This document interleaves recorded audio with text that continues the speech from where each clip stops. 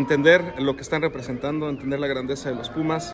Eh, será consecuencia de muchísimo, de mucho esfuerzo, eh, de mucha entrega, de mucha disciplina, eh, de mucho trabajo. Me siento muy emocionado este, por, por el equipo que va a defender el título. Después de ganar su primer campeonato en una década en la categoría intermedia, los Pumas CU ya afinan los últimos detalles para comenzar la defensa de su título en la temporada 2023 de la Organización Nacional Estudiantil de Fútbol Americano.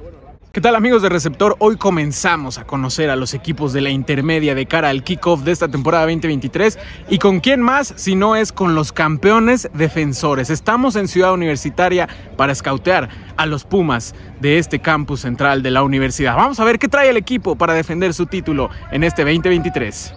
Los Pumas CU consiguieron el título de la Intermedia 2022 de manera dominante, una marca invicta de 6 ganados y 0 perdidos en temporada regular precedió unos playoffs extraordinarios en los que vencieron 53 a 7 a Pumas Acatlán en semifinales y 21 a 0 a los auténticos Tigres en la gran final, rompiendo la racha de 7 títulos consecutivos de los regiomontanos.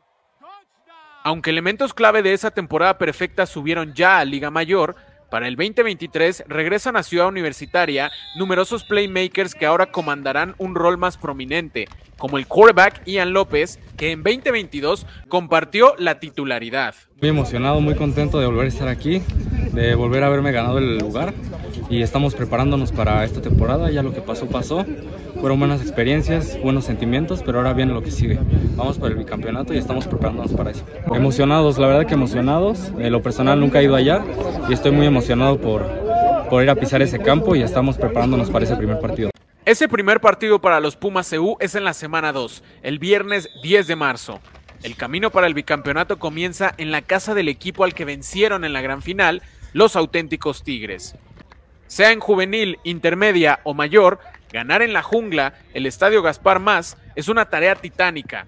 Aunque en 2022 las dos veces que se enfrentaron fue en Ciudad Universitaria, estos Pumas saben lo que es dominar al Tigre. Ansioso, la verdad sí ya quiero que, bueno yo creo que todos estamos ansiosos, estamos felices, ya quiero que, que sea el partido y pues listos, estamos ya casi listos para el partido. Contrario de presión pues como motivación, ¿no? Que, que, nuestros compañeros nos vean como, como veteranos, como que pues estuvimos este, corriendo el año pasado también y pues eso, o sea, prepararnos para, pues, para cumplirle a, al equipo y a, y a, todos los que nos apoyan. Sí me siento en, de los mejores, de los mejores que tienen el nivel en intermedio. Manlio Fabio Hernández y Eliu Martínez serán los corredores principales de un backfield que en 2022 tuvo en Juan José Vega Velázquez a un elemento fundamental, ya que por su paso terminó con 16 touchdowns en la temporada, pero ya subió a la Liga Mayor. En el cuerpo de receptores también egresó al circuito máximo un pilar como lo fue Rodrigo Blanco, pero aquí también hay talento veterano con la misma capacidad de asumir liderazgo y espectacularidad, como lo es el receptor Julio Hernández Hernández. Bien, me siento muy cómodo, la verdad este me, no me cuesta trabajo, este, pero creo que eh, si hay una posición en la que pues, me pueda meter, creo que lo puedo hacer y lo puedo hacer bien. La verdad es, estamos listos, vamos a ir puliendo poco a poco las cosas y la vamos a armar muy bien. Vamos sí. a ser campeones otra vez. Listo, la verdad estoy muy ansioso, nunca he ido al Monterrey y va a ser la primera vez que voy a ir.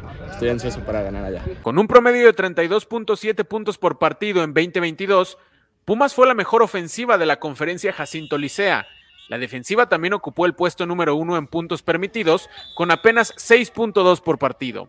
En cinco de sus ocho encuentros, los rivales de los pedregalinos tuvieron una o ninguna anotación. Particularmente de este lado del campo, que habrá nuevos nombres para mantener ese nivel de contundencia de cara al campeonato, ya sea con jugadores que en 2022 no vieron tanto juego, u otros más que vienen subiendo de la juvenil, los Tigres CU. Me siento orgulloso de liderar la defensa y pues me gustaría inspirar, eh, mandar el mensaje de lo que significa ser un defensivo de los Pumas. ¿Y qué significa? No fallar tacleadas, tener los mejores fundamentos y eso, hacerlo mejor cada día. Pues bien, voy subiendo apenas de Tigres. La verdad sí, sí se siente más el nivel.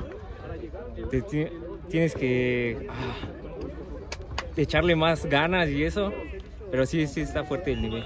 Pues ya en estos niveles ya casi todos, todos son muy buenos. Pero hay que echarle ganas. Un roster de 66 jugadores buscará replicar lo logrado en 2022 en lo que sería el primer bicampeonato de Ciudad Universitaria desde 2014, ya sea en categoría mayor, intermedia o juvenil. Pero el primer paso será posiblemente el más exigente de la temporada regular. Pumas se meterá a la casa del equipo que ganó siete títulos consecutivos en la intermedia de 2013 a 2019. El resultado sobre auténticos en el Gaspar Más será el parámetro con el que se midan las pretensiones del bicampeonato para el Pedregal.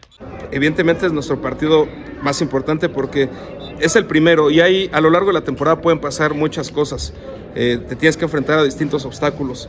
Eh, lo más importante es mantener un equipo sano y con un equipo sano puedes ir pensando en generar cosas importantes en postemporada. Entonces lo importante es evidentemente sacar la victoria en Monterrey eh, con los menos lastimados posibles, o, ojalá que no haya ningún lastimado y, e ir semana a semana. Eh, no nos podemos volver locos y estar pensando en cómo jugar una final o una semifinal, si es aquí, si es allá.